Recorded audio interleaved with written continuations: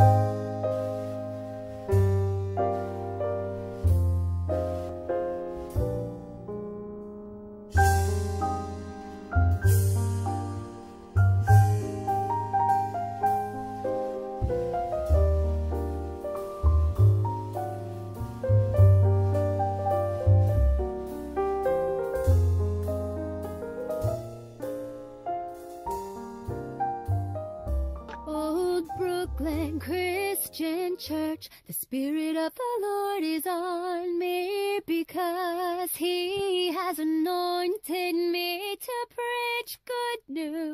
to the poor.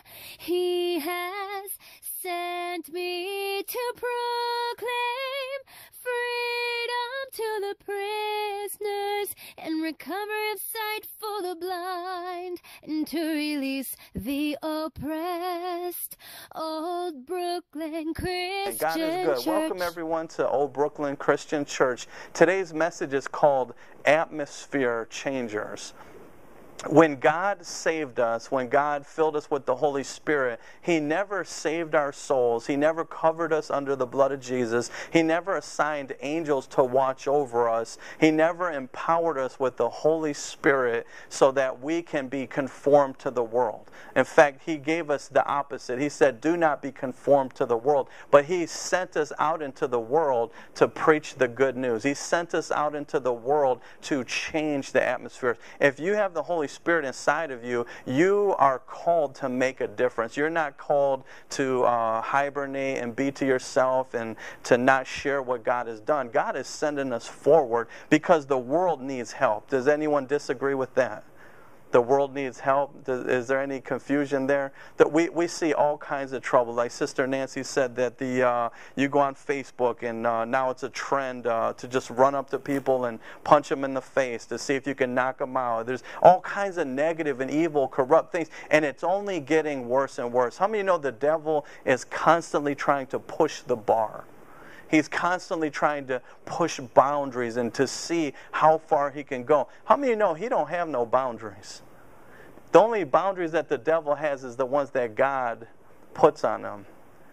And you have to know that God has the power to put boundaries in the devil. How many know that God is calling us to put boundaries in our own life? To not allow the devil into our life, to set boundaries. I'm sorry, devil, you can keep on knocking, but you you can't come in. You can knock all you want. That's your right. But I'm not going to open up the door and allow you to come into my life. I'm going to keep that door shut. In fact, as you're knocking, devil, I might dance to the knock, but you ain't coming. How many you know the devil's not going to give up?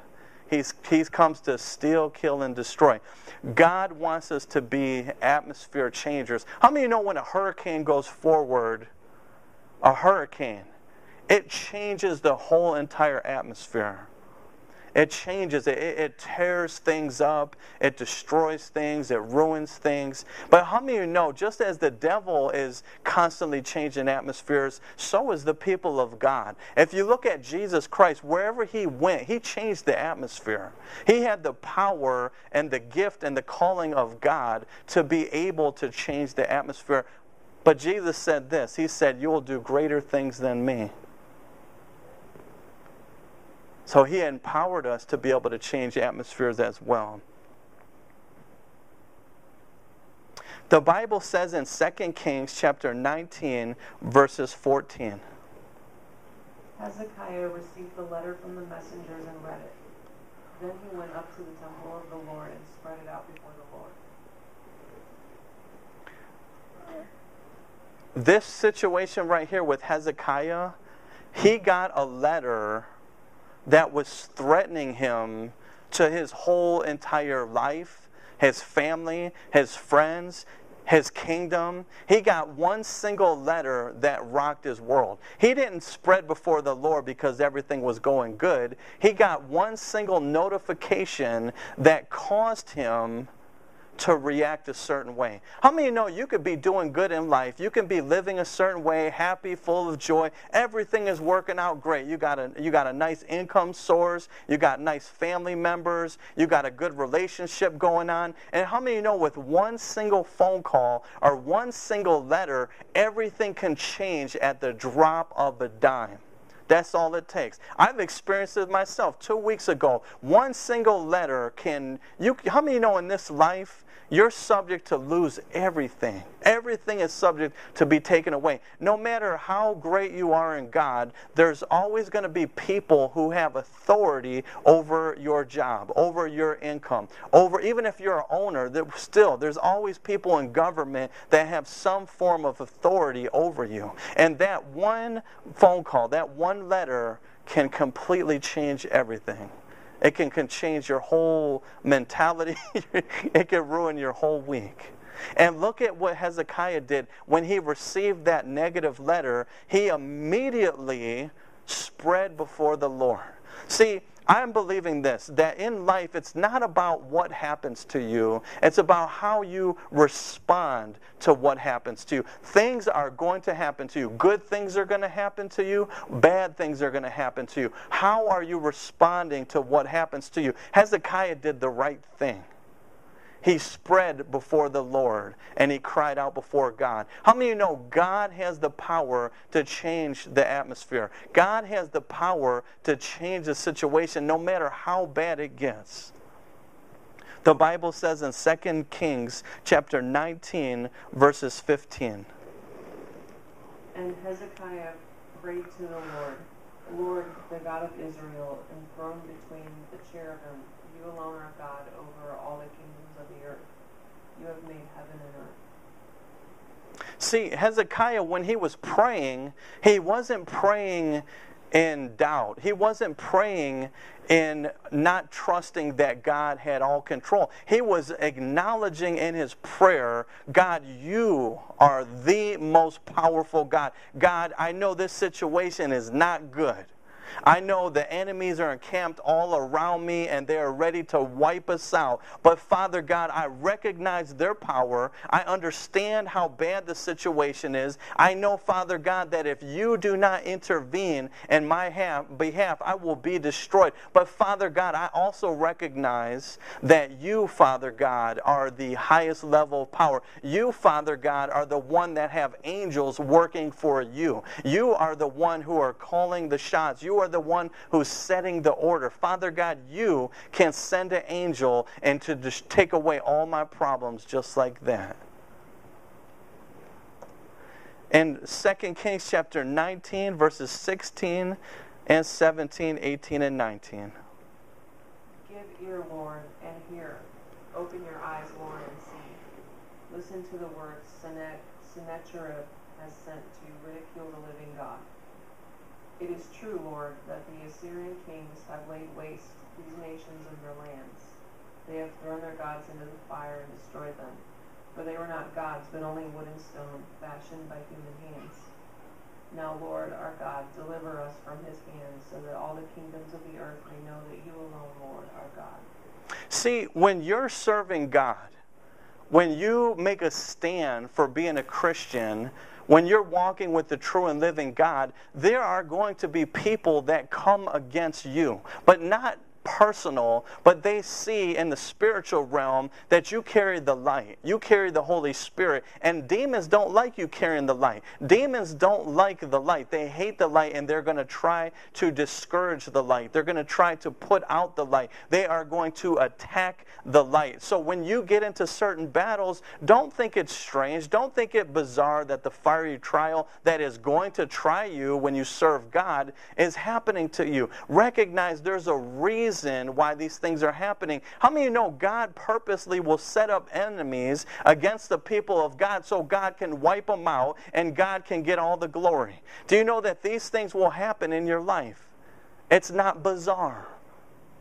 It's going to happen. The Bible said in this situation that this this this this king of Assyria, he has a record. He has a reputation of destroying other lands. He has a reputation of wiping out other people. but he still recognized that the God, even though he was so powerful at that time, he served the false God. The king of Assyria, as strong as his man made power was, as strong as his man made riches, as strong as his worldly resources were, he knew that it was not stronger than our Lord. He knew that it was not stronger than our Lord. Can I tell you, no matter what comes against you, no matter how big and powerful it is, it's not stronger than our God. It may be in the world's eyes, but not in God's eyes. It says, Now, Lord, our God, deliver us from his hand so that all the kingdoms on earth may know that you alone Lord our God. Can I tell you, when you know that you're in the will of God, when you know that you're repenting, I'm not saying that you're perfect in all your ways, but you're sincerely loving God. You're sincerely serving God. You sincerely have the Holy Spirit. You're sincerely doing what God wants you to do. You're where God wants you to be. Can I tell you, you don't have to worry. You don't have to worry about anything. Because God said, Cast your cares upon me. Cast your cares upon God. Rest in Him. Rest in Him. Can I tell you, in prison, there's something that happens that changes the atmosphere.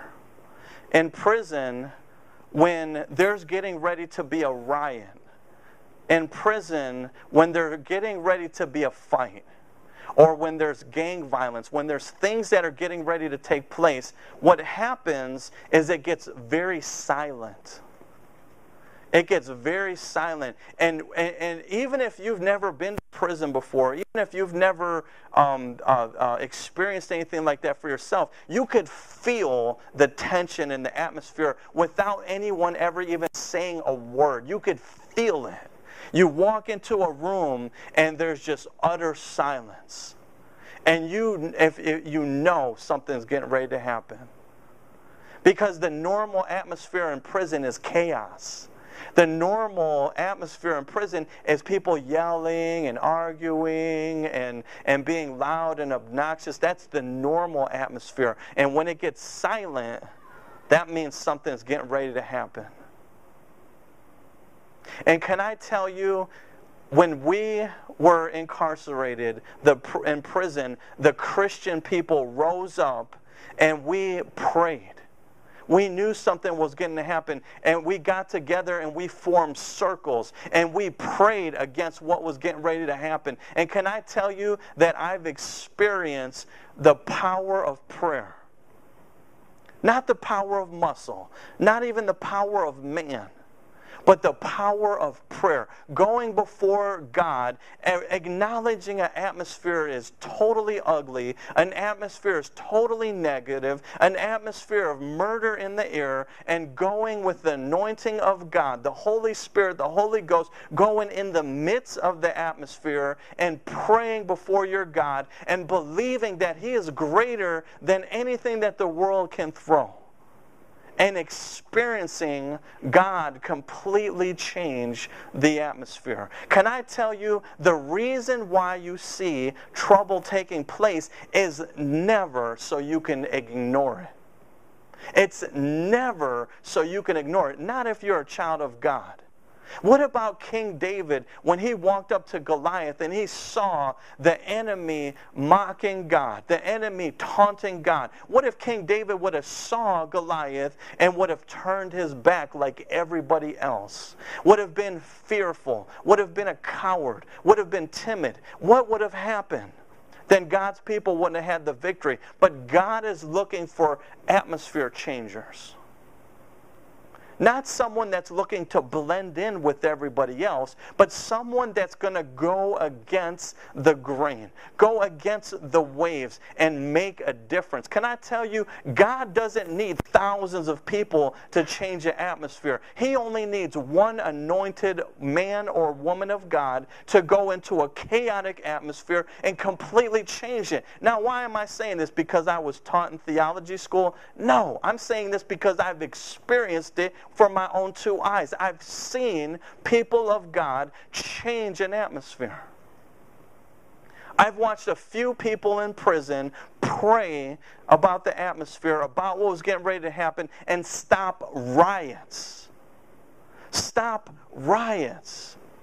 If you live in an apartment complex or you live in a house and you hear a fighting or you hear screaming, what are you going to do as a man and woman of God? Are you going to constantly turn your back? Are you going to pray for them and not do anything? Are you going to pray and after you pray, just go about your day like everything else? Because that's not going to change the atmosphere. Can I tell you, it could be someone getting abused, someone getting hurt, and, and it's happening over and over and year, over because nobody does anything. They might pray about it, but the Bible says faith without works is dead. God is raising up people of God to do something, to be a difference, to change an atmosphere. Can I tell you, if you're ever going to do any type of ministry at all, you have to be an atmosphere changer.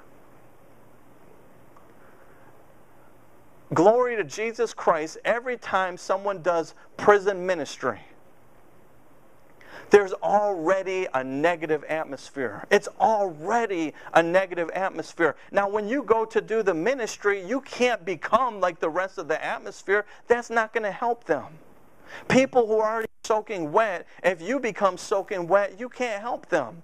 But if you have a towel, you can dry them off. God is looking for people who are on fire for God.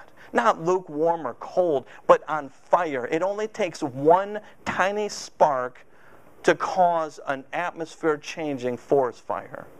It always starts with one little spark. And the devil's telling you that your one little spark inside of you is not good enough. The devil's constantly telling you that your little spark inside of you is not enough to change the atmosphere. But can I tell you, the devil's a lie? I'm sure the devil was right there with Hezekiah saying, Boy, look at you, foolish king. You're getting ready to be annihilated. Enemies surrounded all around you, and here you are trying to pray before the Lord. He ain't hearing you, He ain't listening to you. He is listening to you. Keep praying before the Lord. He's going to hear your prayer and He's going to act on it, and you're going to be the one that causes the spark that changes the atmosphere. This is what God is looking for. Now, we're looking for help to come in politics. We're looking for help to come with leaders. God said, That's nice. How about I want to use you? How about I want to use you right where you're at in your neighborhood? We always look for help through people, through systems. And God said, I'm looking for help. I want you to be my hands and feet. I want you to be a priest of a holy nation. I want you to be the man of woman of God that I'm going to send forward to make a difference. I want you. Yeah, I know you've sinned. I know you've done things that are despicable. I know you should be in hell. But my grace is sufficient. I've forgiven you. I love you. I'm sending you forward, and I'm going to use you. If you're ever going to do any form of ministry, you can't wait for the. Me and, me and Pastor Greg, we talk about this, Bishop Greg, we talk about this all the time. You can't wait for the church to start praising and shouting and saying amen. You have to go there with your anointing with God, and you have to be the one to get the church to start shouting and jumping and praising God because it ain't going to happen. People need a little bit of encouragement, people need a little bit of a bump, people need a little bit of push. And can I tell you, that's the Holy Ghost. The Holy Ghost will rise up inside of us like fire shut up in our bones. We need a little motivation. How many know God wants to use you to be the motivator? How God wants to be, use you to be the one to inspire. When I go to the prison, glory to God, I don't wait for the, intima- eh, the, the inmates to start praising God. I go in there praising God. I go in there praying. I go in there with joy. I don't wait for them to get uh, happy and excited. They come in with all those spirits. We have to be the one to set the tone. Through God, not on our own. Please don't mistaken me. Never on our own. We, outside of Christ, we could do nothing. Inside of Christ, I can do all things through Christ who strengthens me. So here Hezekiah, he goes, bef- he is the biggest underdog, even a laughing stock. But can I tell you, you may be a laughing stock. You may be the underdog. You may be fit in every way possible. You may be counted out in every possible category. But how many of you know that's the more glory God's going to get when the atmosphere changes through you? We say, oh, if I was only articulate. If I was only tall, dark, and handsome. If I was only this. If I only had this. If I only had this amount of money. If I only had this connection. God said, all that stuff is not going to glorify me. I just need a willing heart, a man or woman of God with faith in Jesus Christ, and I'll take it from there. I'll take it from there, God said. In 2 Kings chapter 19, verses 35, the Bible says, That night the angel of the Lord went out and put to death a hundred and eighty-five thousand in the Assyrian camp. When the people got up the next morning, there were all the dead bodies. All the dead bodies. Can I tell you? 185,000 dead bodies. Or, excuse me, 185,000 dead problems. Each body represented a problem. Do you feel like you have 185,000 problems in your life right now? Can I tell you, no matter how many problems you got, if you call upon the Lord, if you lay your face on God and you pray and ask God to help you, you'll wake up the next morning with 185,000 dead problems because God can give you the victory. It don't matter how many things are going against you. It's supposed to happen. It's supposed to happen.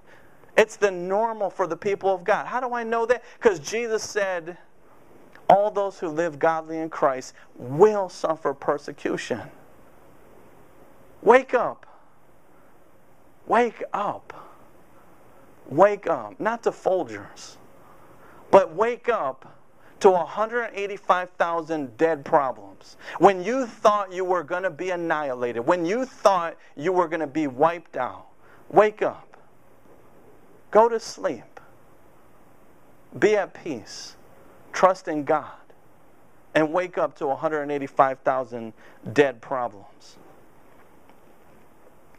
You know, I remember uh, working at the gym, and I remember, I remember the whole atmosphere of the gym being so peaceful and so full uh, joy and we're having friendly conversation. And I kid you not, there was one lady that walked into the gym and she changed the whole entire atmosphere. And I could almost see it in the natural. After this lady walked in, you could feel like a demonic power that she carried. You could feel the spirits on her. You could feel the negativity. Have you ever experienced that before where you've seen someone just, they carried a darkness about them? Them. You, you, you, you didn't have, as soon as they came into your atmosphere, you didn't feel no peace.